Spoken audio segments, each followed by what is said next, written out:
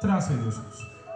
Ve daha sonra yumurtanın haznesine, özel bölmesine kırmızı mendili doldurmaya başlıyorsunuz. Bu işlem ne kadar sürüyor? Kırmızı mendil gözden kaybolana kadar devam ediyor. Kırmızı mendil çocuk gelir. Peki bu çocuk hayatımızın bir parçası mıdır? Yoksa hayatımızda yeri en başından beri her zaman hazır mıdır?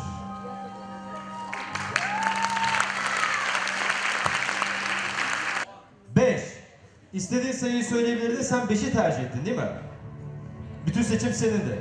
Bakın 1, 2, 3, 4 ve 5. Beşinci budu bebeği. Elini havaya kaldır.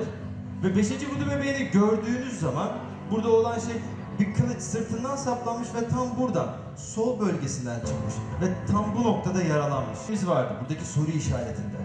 Ve bu soru işaretinin de sadece tek bir tedavisi vardı. Yani buradaki yaranın tedavisi. O da tam aynı bölgede bulunan yara bandı. Ve bu şekilde. Değil mi? Tabii ki anlatıyorsunuz. Bin kişi kimse... Şimdi bunu yapıyoruz çünkü sizler de bir şeyler öğrenin istiyoruz ve bir deneyim yaşayın istiyoruz. Bunu evde kalem kağıtla çizip e, herhangi bir şekilde de arkadaşlarınıza uygulayabilirsiniz. İğne batmış aynı bölgeye ve burada da kırt saplanmış arkasına ve aynı bölgeden çıkmış. Aslında iki tane sonuç aynı ama diğer dört sonuç farklı. Eğer bana bir deseydin ben birinci yani bu bebeği gösterecektim. Eğer bana iki deseydin buradan başlayacaktım. Bir, iki bunu gösterecektim. Eğer sen bana beş demiş olsaydın ki beş dedin. Bir, iki, üç, dört, beş aynı şekilde onu gösterecektim. Altı deseydin buradan başlayıp sona gelecektim. Yaşam şu oluyor.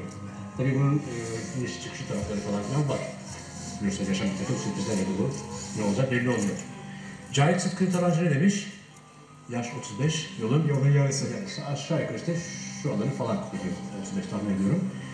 E, ilk 35 bizleri geçti zaten. Üçünü biz bitirdik. Geriye şu kalıyor. Yaklaşık şunu da ilave edelim.